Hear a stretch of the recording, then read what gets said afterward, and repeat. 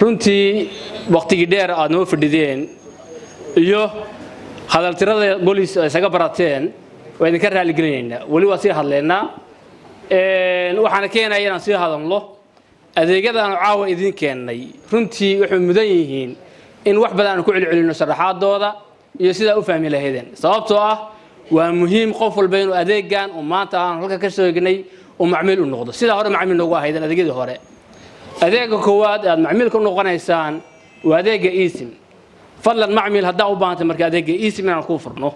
Keliya waxaa kugu habboon inaad booqato xarumaha shirkadda isgaarsiinta golis telecom soomaaliya meelkiisa ku yaalaan ama beejkooda aad soo booqato si laguu caawiyo aad u hesho easimka meel kastoo aad joogto khasama inaad timaado online baa nagala soo xiriiri kartaa xarumaha shirkaddana waa iman kartaa. Waa lagu brogaraminayaa koodhka lagu siinaya waana kuu shaqaynaya ha ka welwel marka mar dambe mobeelkaygu easim buu ku shaqeeyaa golis telecomna kaarkeedii baan raba inaan isticmaalo hadda diyaar baan ku naba in isticmaal. Adeega labaad waa laydiin sheegay mahigaan balaas horey waxaa nooga barateen mahigaan hadda mahigaan balaas waxa weeye.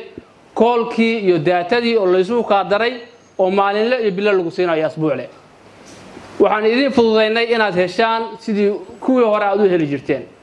Hal menu bay shirkadu leedahay. Oo adeegyada o dhan aad kala socon kartaan. Waa xidig sideed shan shan afar gees? Xidig sideed shan shan afar gees waxaa kugu jira maanta wixii ka dambeeya caawa mahigaan balaas. Halkaasaan kala socon doontaa adeega kale ee runtii aadka iyo aadka muhiimka u ah waa adeega shirkadaha ganacsiga u fududaynaya inay shaqaalahooda ay siiyaan xirmo ku filan macmiil shaqaalahaaga wax siisa xirmo ku filan oo hadal iyo daato ah. Xarunta shirkadda imow maalin walbana waxaa la siinayaa macaamiishaada shaqaalahaaga bandhaliska aad u gaday si ay subax walba ku soo toosaan shaqadooda iyagoo xor u ah hadalkii iyo daatay labadaba. Adeega saddexaad afraad ee ugu muhiimsan waxa weeye isku xirka bulshada ama isku xirka qofka ganacsigiisa iyo mas'uuliyada uu hayo. Waxbarasho ha ahaato ganacsi ha ahaato dowlad ha ahaato cid kasta ha ahaato.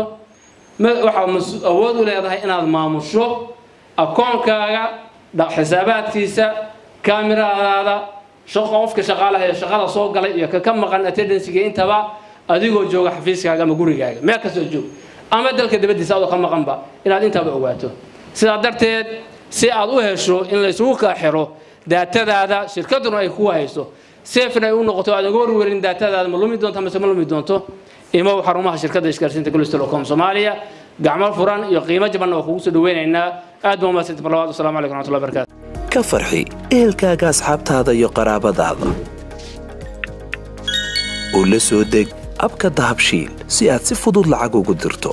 Marka aad la soo degto ablicathonka dahabshiil ee aad lacag ka dirayso isticmaal koorka khadmad la'aanta ee tree free oo kuu sahlaya in saddexda jeer ee ugu horreeya ee aad lacag dirayso aan wax khidmad ah lagaa qaadin. Dahabshiil howlfudaydiyahaaga maaliyadeed